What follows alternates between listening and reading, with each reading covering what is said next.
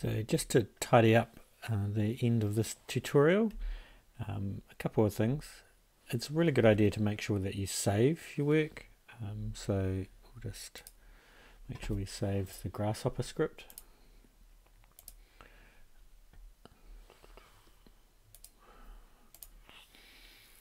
And the way I operate is create a folder. Um, so let's call it box here. Uh, and then cre create the script in there. So box for the Grasshopper script. And then also uh, the Rhino file I would save in the same folder. So um, it just makes sure that things all align. You don't have to do that, but it's a good way just to keep things easy to find in the future. Um, the other thing I noticed here with the rotate, there's this plane uh, tool or plane requirement for the rotate command or component. And what that means is uh, at the moment that's rotating in an unusual place but we can control that by putting either a point or a plane into that place so here once I do that it's now rotating around that point there. So if I adjust that slider, you can see it's rotating around that point.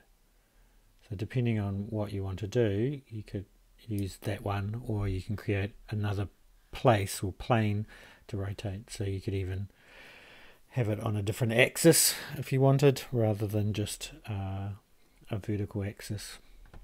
So it can rotate in multiple planes if you needed to. Uh,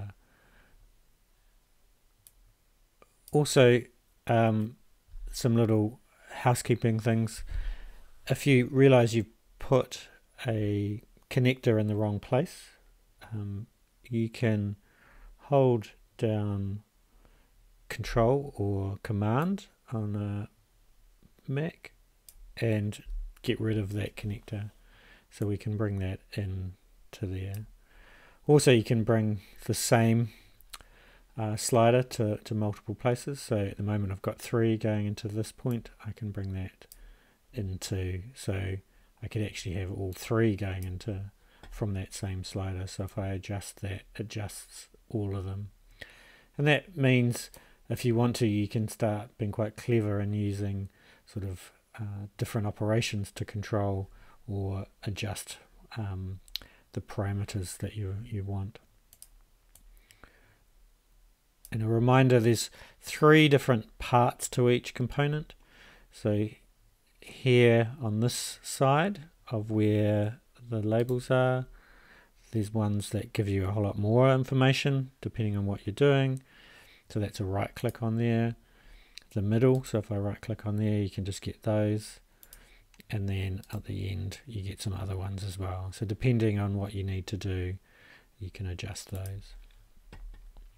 Uh, hopefully that is helpful and gives you a bit of an idea of how you can go about using Grasshopper to create um, some paramet simple parametric models.